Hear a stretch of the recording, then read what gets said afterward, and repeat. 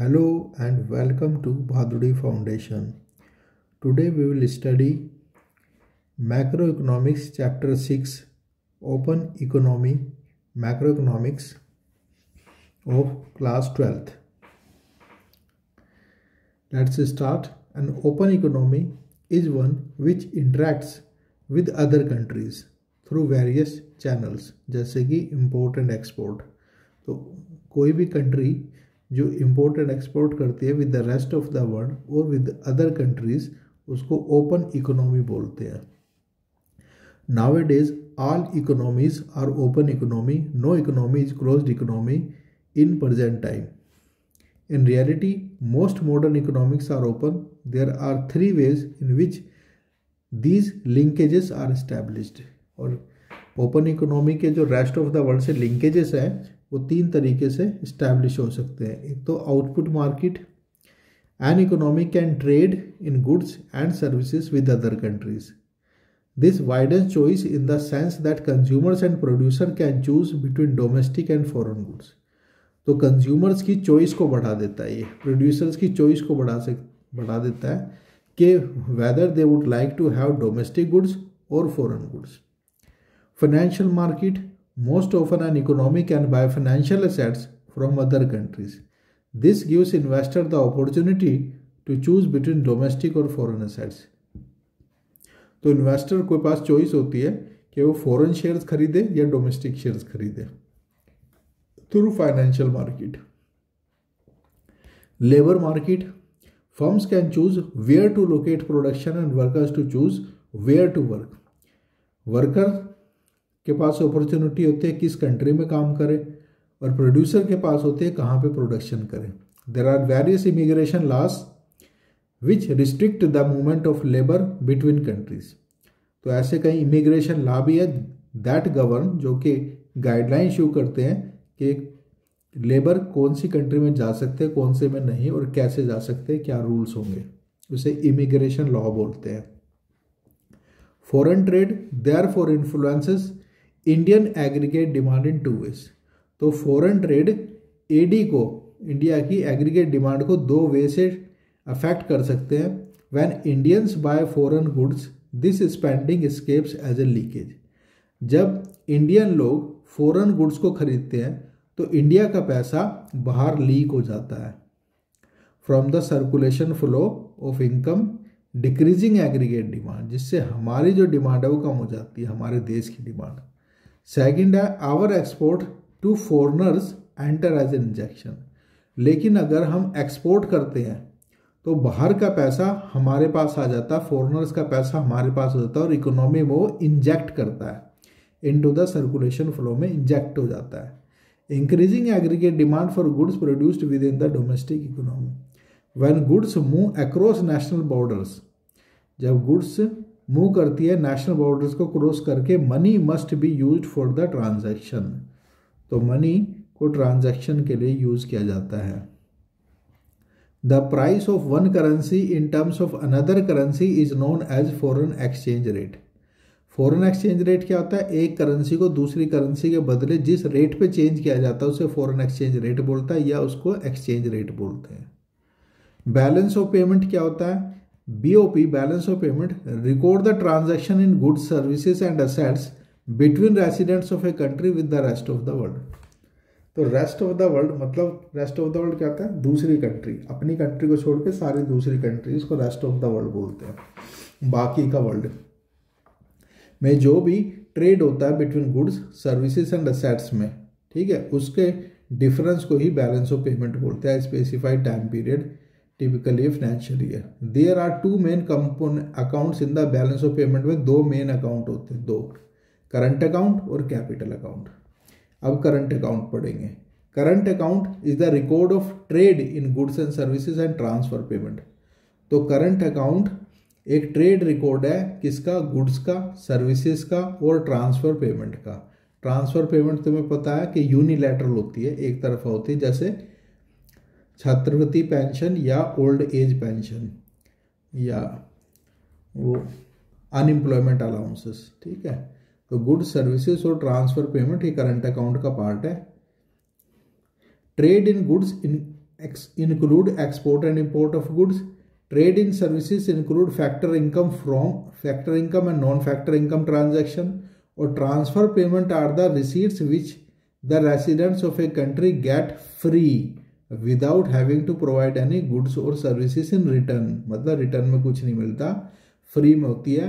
Transfer payment unilateral होती है। मतलब कि जैसे old age pension they consist a gift remittances and grants this could be given by the government by private citizen living abroad तो या तो government या प्राइवेट सिटीजन जो अब्रोड रहते हैं, वो देते हैं ट्रांसफ़र पेमेंट तो ये करंट अकाउंट का पार्ट है तीन। Buying foreign goods is expenditure from our country अगर फॉरेन गुड्स को हम खरीद रहे हैं तो एक्सपेंडिचर है हमारी कंट्री से and it becomes the income of the foreign country की वो इनकम बन जाता है। As the purchase of foreign goods or imports decreases the domestic demand for goods and services in our country तो अगर हम इम्पोर्ट करेंगे तो हमारी कंट्री की डिमांड की गुड्स एंड सर्विसेज़ की कम हो जाएगी। Similarly selling of foreign goods और एक्सपोर्ट और जब हम एक्सपोर्ट करते हैं brings income to our country and add to the aggregate domestic demand में जुड़ जाता है goods and service in our country ये current account trade in goods trade in services transfer payment trade in goods में export of goods import of goods trade in services में net factor income net non factor income जैसे shipping banking insurance ये और net factor income में income from compensation of your net investment income transfer payment में क्या होता है? Gift होती है यूनिलैटरल होती है। Balance of current account current account is in the balance is in balance when receipt on current account are equal to the payment on the current account तो balance माना जाता है। Surplus current account means that the nation is lender to other countries अगर surplus है current account तो इसका मतलब है कि हमारा देश लैंडर है, दूसरे को पैसा दे रखा है कंट्री से। यानी डेफिसिट करंट अकाउंट का मतलब है कि हमारा देश जो है, उधार करता है बोरोवर है, ठीक है? तो क्या होना चाहिए? सरप्लस करंट अकाउंट होना चाहिए हमारा। Balance on current account has two component balance of trade और ट्रेड बैलेंस और बैलेंस ऑफ़ इनविजिबल्स तो बैलेंस ऑफ़ करंट अकाउंट जो है, उसके दो कंपोनेंट होते हैं। एक तो बैलेंस ऑफ़ ट्रेड जिसमें फ़िज़िकल गुड्स आती है ओनली ट्रेड बैलेंस और बैलेंस ऑफ़ इनविजिबल जिसमें सर्विसेज़ आती है। बैलेंस ऑफ़ इनविजिबल में सर्विसेज़ सर्विसेज़ आती है। ट्रेड बैलेंस में सिर्फ़ गुड्स आती है फ़िज़िकल गुड्स तो balance of trade is the difference between the value of export and the value of import of goods of a country in a given period of time services नहीं है सिर्फ़ goods है export of goods in is entered as a credit item in balance of trade whereas import of goods is entered as a debit item in balance of trade तो import जो हो गया वो debit होता है, और जो एक्सपोर्ट है वो क्रेडिट होता है बैलेंस ऑफ़ ट्रेड में। मतलब बढ़ जाता है डेबिट माने कम हो जाना। It is also known as trade balance ही बोलते हैं इसे।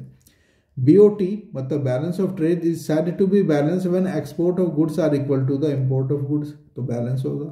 सरप्लस बैलेंस ऑफ़ ट्रेड कब बोलते हैं? या ट्रेड सरप्लस कब बोलते हैं?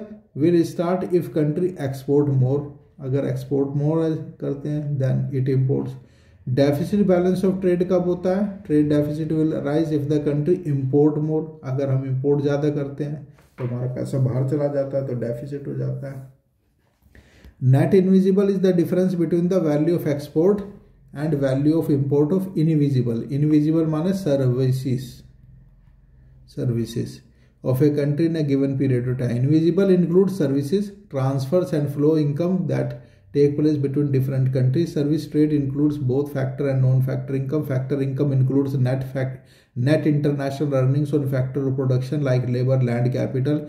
Non-factor income is net sale of services, products like shipping, banking. ये net ये नॉन फैक्टर इनकम है शिपिंग बैंकिंग टूरिज़्म से जो पैसा आता है सॉफ्टवेयर से करंट अकाउंट पढ़ लिया अब पढ़ेंगे capital account capital account records all transaction all international transaction of assets assets और लाइबिलिटी की बात करेंगे कैपिटल आ गया। An asset is any one of the form in which wealth can be held for example money stock bonds government debt purchase of assets is debt item on the capital account ये आ गया capital account investment external borrowing और external assistance ये capital account में आता है। Investment में direct investment है, एक एक पोर्टफोलियो इन्वेस्टमेंट है। डायरेक्ट इन्वेस्टमेंट में, equity capital invested, portfolio investment में, ऑफशोर फंड। मतलब पोर्टफोलियो इन्वेस्टमेंट मतलब के दूसरी कंपनी में, फॉरेन कंपनी में शेयर खरीद लेना। डायरेक्ट इन्वेस्टमेंट यानी मतलब पूरी कंपनी नई सेटअप कर लेना। अच्छा ये एक्सटर्नल बोरोविंग का मतलब कि शॉर्ट टर्म एक्सटर्नल बोरोविंग बाहर से विदेशों से लोन लेना। एक्सटर्नल असिस्टेंस का मतलब कि बायोलेटरल लोन लेना मतलब एड लेना इंटर गवर्नमेंटल मदद लेना असिस्टेंस माने मदद। Balance of on capital account तो capital account is balance when capital inflow मतलब कैपिटल जो आ रहा है अंदर like receipt of loans from abroad sale of asset कुछ असेट बेच दिए तो आ रहा पैसा शेयर्स बेच दिए shares in foreign companies are equal to the capital outflow capital inflow जब कैपिटल आउटफ्लो के बराबर होता है तो उसे कैपिटल अकाउंट का बैलेंस बोलते हैं like repayment of loan purchase of asset shares in foreign countries surplus in capital account rises when capital inflow is greater जब कैपिटल इनफ्लो ग्रेटर होगा तो सरप्लस होगा देन कैपिटल आउटफ्लो से। और deficit कब होगा? When capital account rises when capital inflow is lesser किससे? Capital outflow से। मतलब चला ज़्यादा गया और आया कम इनफ्लो कम हुआ तो ये क्या हो गया? डेफिसिट हो गया। Balance of payment surplus and deficit the essence of international payment is that just like an individual who spends more than her income must finance the difference by selling assets और by borrowing a country that has deficit in current account spending more than it receives from sale to the rest of the world must finance it by selling assets or by borrowing abroad. Thus, any current account deficit must be financed by the capital account surplus. अगर कोई current account deficit हो गया मतलब कि हमारा खर्च ज़्यादा हो गया ठीक है मतलब कि हमने इंपोर्ट ज़्यादा कर लिया देन एक्सपोर्ट तो डेफिसिट हो गया तो कहाँ से पूरा होगा कैपिटल अकाउंट सरप्लस से मतलब कि हमें बोरोविंग करनी पड़ेगी नेट कैपिटल इनफ्लो करना पड़ेगा। The country could use its reserve of foreign exchange. Country अपने फॉरन एक्सचेंज को यूज़ कर सकता है in order to balance any deficit. In the balance of payment, the reserve bank sells foreign exchange. When there is a deficit, this is called official reserve sale. The reserve bank sells foreign exchange. Reserve bank अपने foreign exchange को भेज देता है। When there is a deficit this is official reserve sale बोलते हैं, जब RBI अपने reserve को बेचता है। Decrease in official reserve is called the overall balance of payment deficit surplus the basic premise is that the monetary authorities are ultimate financiers of any deficit in the balance of payment autonomous and accommodating transaction क्या होती है? International economic transaction are called autonomous International economic transactions are called autonomous when transactions are made due to some reason other than to bridge the gap in the balance of payment. जब balance of payment को balance करने को छोड़ के कोई international transaction की जाती है तो ऑटोनोमस इन्वेस्टमेंट होता है ऑटोनोमस ट्रांजेक्शन होती है that is when they are independent of the state of balance of payment से independent the one reason could be the unprofit profit कमाना एक रीजन हो सकता है। These items are called above the line item तो ऑटोनोमस ट्रांजेक्शन को above the line बोलते हैं items in the balance of payment the balance of payment is said to be in surplus और deficit if autonomous receipt are greater than the autonomous payment receipt ज़्यादा होगी तो उसे surplus बोल सकते हैं। एकोमोडेटिंग ट्रांजेक्शन क्या होता है? Term as below the line item बोलते हैं अकोमोडेटिंग को। ये क्या करते हैं? अकोमोडेट करते हैं, पूरा करते हैं एडजस्टमेंट बिठाते हैं। On the other hand are determined by the gap in the balance of payment में जो गैप आ रहा है that is whether there is a deficit surplus in the balance of payment in other words they are determined by the net consequences of the autonomous transaction is the official reserve transaction are made to bridge the gap in the balance of they are seen as accommodating items in the balance of payment errors and omissions It is difficult to record all international transactions accurately. Thus, we have a third stage element of balance of payment apart from the current and capital accounts, errors and omissions which reflect this. Foreign exchange market foreign exchange का मतलब जो international currency होती है उसका exchange उसके लिए एक market होती है जो एक्सचेंज रेट डिसाइड करती है the market in which national currencies are traded for one another is called foreign exchange market जहाँ पे इंटरनेशनल करेंसियों का एक्सचेंज होता है, उसे फॉरेन एक्सचेंज मार्केट बोलते हैं। The major participants in the foreign exchange markets are the commercial banks होते हैं फॉरेन एक्सचेंज ब्रोकर्स होते हैं एंड अदर अथराइज डीलर्स होते हैं और मॉनेटरी अथॉरिटीज़ होती है। ये सब मिलके मार्केट में रोल प्ले करते हैं। फॉरेन एक्सचेंज रेट क्या होती है? Foreign exchange rate also called forex rate is the price of one currency in terms of another it links the currencies of different currencies and enables the comparison of international cost and price demand for foreign exchange foreign exchange मतलब foreign की currency की demand क्यों होती है? People demand foreign exchange because they want to purchase goods and services from other country क्योंकि उसे America से कुछ सामान खरीदना इसलिए फॉरेन एक्सचेंज चाहिए। They want to send gift abroad बाहर गिफ्ट भेजना तो फॉरेन एक्सचेंज चाहिए। They want to purchase financial assets in the certain country किस कंट्री में उनको शेयर खरीदने या कोई फाइनेंशियल एसेट्स खरीदने लैंड खरीदनी है तो उन्हें फॉरेन एक्सचेंज चाहिए। A rise in the price of foreign exchange will increase the cost in terms of the rupees of purchasing of foreign good this reduces the demand for imports and hence demand for foreign exchange also decreases. Other things remaining constant A rise in the foreign exchange अगर foreign exchange बढ़ जाता है will increase the cost of purchasing the foreign good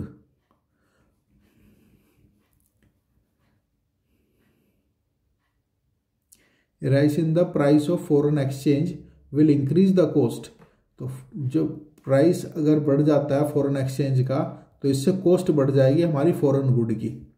This reduces demand for import तो इससे import की demand कम हो जाती है, क्योंकि उनकी करेंसी महँगी हो गई है।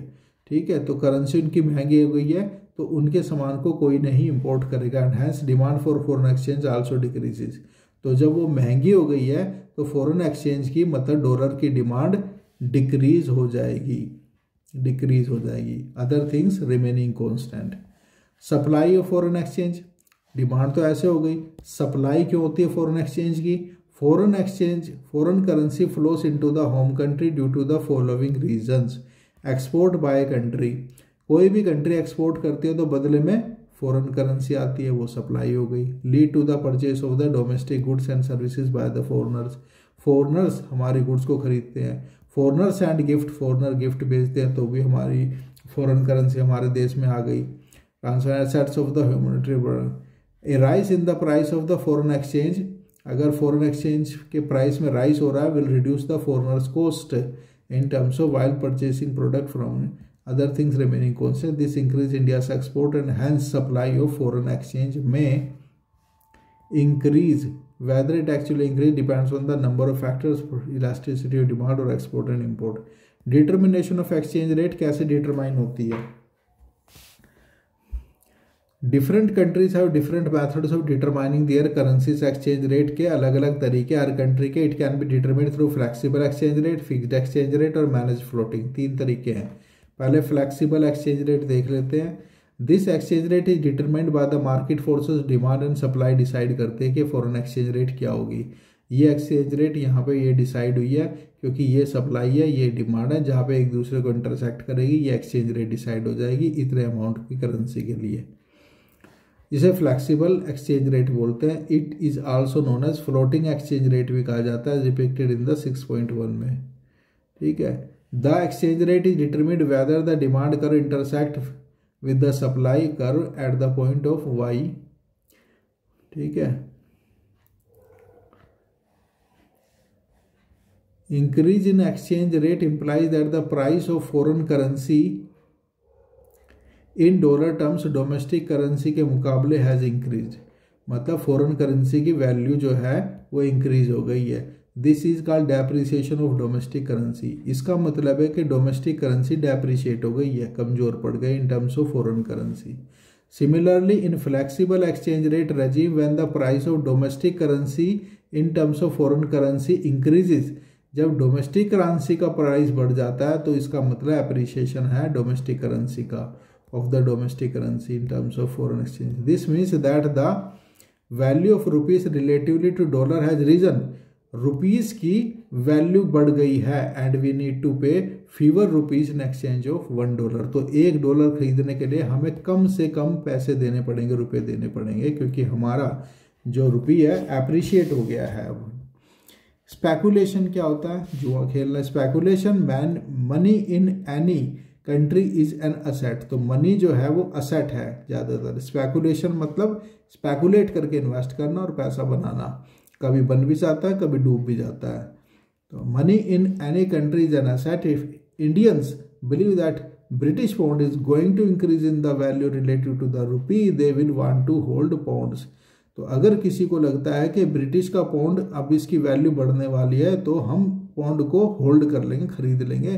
Thus exchange rate also get affected when people hold on exchange on the expectation that they can make gains from the appreciation of the currency जब होल्ड करते हैं किसी भी करेंसी को तो उसकी वैल्यू डिमांड वैसी बढ़ जाती है। तो बढ़ जाती है तो उसे बेच दो तो क्या होता है? स्पेकुलेशन से हमने पैसा कमा लिया। स्पेकुलेशन माने होता है अंदाज़ा गैस करना। ठीक है गैस करके हमने लगाया कि ये करेंसी बढ़ेगी उसको ज़्यादा खरीद लिया। जब उसके प्राइस बढ़ गए तो उसको बेच दिया स्पेकुलेशन से मनी कमा ली।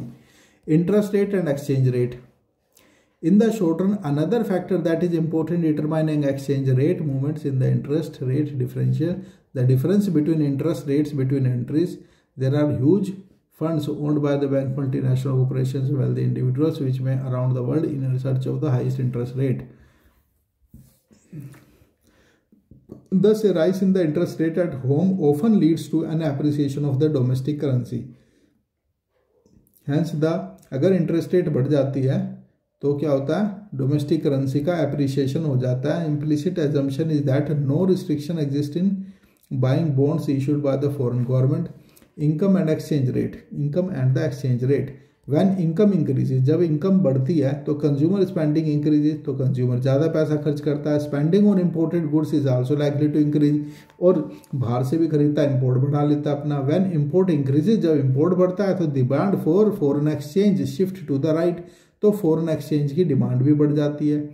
This is the appreciation of the domestic currency तो इससे क्या होता है कि हमारी जो करेंसी है, वो नीचे चली जाती है। जब भी हम बाहर से सामान खरीदेंगे तो हमारी करेंसी सस्ती हो जाएगी डेप्रिशिएट हो जाएगी। ठीक है? क्योंकि हमें बाहर से सामान खरीदने के लिए डॉलर चाहिए होगा। डिमांड होगी डॉलर की डिमांड होगी पौंड की। हमारी करेंसी की तो डिमांड होगी नहीं, हम अपनी करेंसी दे रहे हैं। तो इसका मतलब डेप्रिशिएट हो रही है हमारी currency if there is an increase in income abroad as well domestic exports will rise and the supply of a foreign exchange shift outward On the balance, the domestic currency may may not depreciate. What happens will depend on the whether export are growing faster than the import. अगर export ज़्यादा grow कर रहा है ठीक है तो इसका मतलब हमारी करेंसी अप्रिशिएट होगी ऊपर जाएगी अगर इंपोर्ट ज़्यादा हो रहा है तो हमारी करेंसी नीचे जाएगी general other things remain equal a country whose aggregate demand grows faster than the rest of the world normally its country depreciating because it imports grow faster than its export जब भी import बढ़ेगा तो हमारी country depreciate होएगी। Fixed exchange rate क्या होता है? इसमें मार्केट डिमांड एंड सप्लाई तय नहीं करती एक्सचेंज रेट को, हम फिक्स कर देते हैं। गवर्नमेंट फिक्स कर देती है कि इतनी ही रहेगी एक्सचेंज रेट जैसे ये फिक्स कर रखा है, ये डिमांड है, ये सप्लाई है। यहाँ पे फिक्स कर रखा है, या ऊपर फिक्स कर दे, या नीचे फिक्स कर दे फिक्स ही रहेगी। In this exchange rate the government fixes the exchange rate at a particular level the market determined exchange rate is E market ने तो ये रेट दिया है, ये मार्केट ने दिया है। ठीक है however let suppose that some reason the Indian government wants to encourage export अगर गवर्नमेंट एक्सपोर्ट को इंकरेज करना चाह रही कि ज़्यादा से ज़्यादा लोग हमारा सामान खरीदे तो एक्सचेंज रेट को लोअर कर देगी। When it needs to make rupees cheaper for foreign it would wise fixing a higher exchange rate तो ये एक्सचेंज से rupees seventy per dollar from the exchange rate of rupees fifty per dollar seventy dollar कर देगी, ठीक है? Exchange rate of fifty dollar in a fixed exchange rate system क्या होगा? Some government action increases the exchange rate domestic currency cheaper हो गई is called devolution जब exchange rate को इंक्रीज कर दिया जाता है when some government action increases the exchange rate exchange rate को इंक्रीज कर दिया गया। मतलब हमारी करेंसी सस्ती हो गई करेंसी चीपर हो गई डॉलर महँगा हो गया तो इसे डिवैल्यूएशन बोलते हैं। On the other hand revaluation is set to अगर when the government decreases the exchange rate government जब एक्सचेंज रेट को डिक्रीज कर देती है, ठीक है तो क्या होगा? तो there are making domestic currency costlier तो कॉस्टलियर हो जाती है और fixed exchange rate fixed exchange rate system में ये है। रिवैल्यूएशन का मतलब है रिवैल्यूएशन का मतलब है अपनी करेंसी को बढ़ाना। मतलब एक यूएस डॉलर के बदले फिफ्टी रुपीज़ देना, ठीक है? और एक यूएस डॉलर के बदले सेवेंटी रुपीज़ देना। ठीक है? तो जब हम फिफ्टी रुपीज़ में ख़रीद रहे हैं तो एप्रीशिएशन हो रही है। जब एक डॉलर को हम सेवेंटी रुपीज़ में ख़रीद रहे हैं तो डिवेल्यूएशन हो रहा है। Merits and demerits of flexible and fixed exchange rate के क्या फ़ायदे, क्या नुकसान है? The main feature of fixed exchange rate system is that there must be credibility that the government will be able to maintain the exchange rate at the level specified तो विश्वास है कि गवर्नमेंट इसको फिक्स रखेगी। If people know that the amount of reserve is inadequate they would begin to doubt and ability of the government to maintain the fixed rate this में give speculation और devaluation fixed exchange rate नहीं रहेगा। ठीक है? तो अगर flexible रहता है तो गवर्नमेंट स्पेकुलेट करते हैं, लोग स्पेकुलेट करते हैं डिवेल्यूशन करते हैं। Fixed exchange rates are prone to those kind of attacks as has been witness in the period before the collapse of the Bretton woods system जैसे कोलैप्स हो गया था फिक्स्ड एक्सचेंज रेट रखने से। The flexible exchange rate system gives the government more flexibility government को flexibility मिलती है and they do they do not need to maintain large stock of foreign currency का रिज़र्व रखने की ज़रूरत नहीं है, क्योंकि डिमांड और सप्लाई खुद डिसाइड करेगी। क्या है exchange rate the major advantage of flexible exchange rate is that the movement in the exchange rate automatically takes care of the surplus और डेफिसिट को अपने आप ठीक करती है market demand supplies in the balance of it also countries gain independence in conducting their monetary policy since they do not have to intervene to the maintain exchange rate and automatically taken care by the market देखती है, इसलिए independence रहती है, कोई intervention की ज़रूरत नहीं होती। मैनेज फ्लोटिंग क्या होता है? Without any formal international agreement the world has moved on to what be what we best describe manage floating मतलब कि एक एक बैंड डिसाइड कर लेते हैं करेंसी को एक्सचेंज रेट को, उसी बैंड के अंदर फ्लोट कराते हैं, उसे मैनेज फ्लोटिंग बोलते हैं। It is a mixture of a flexible exchange rate और फिक्स्ड एक्सचेंज रेट का मिक्सचर है ये। Under this system also called dirty floating भी बोलते हैं। Central bank intervene to buy the sell foreign currency in an attempt to moderate exchange rate markets movements whenever they feel that such actions are appropriate, official reserve transactions or there are not not equal to zero. तो इसमें dirty floating भी कहते हैं क्योंकि reserve bank of India central bank अपनी मर्ज़ी से इसको मैनेज करते रहते हैं एक्सचेंज रेट को। तो इसलिए ये मैनेज फ्लोटिंग है जो कि मिक्स है फिक्स्ड एक्सचेंज रेट और फ्लेक्सिबल एक्सचेंज रेट सिस्टम का। तो we have completed this chapter subscribe our channel on YouTube all chapter देखने के लिए you can also download R बादबी foundation from the play store there you can get all N C R Ts right from class six to twelfth thank you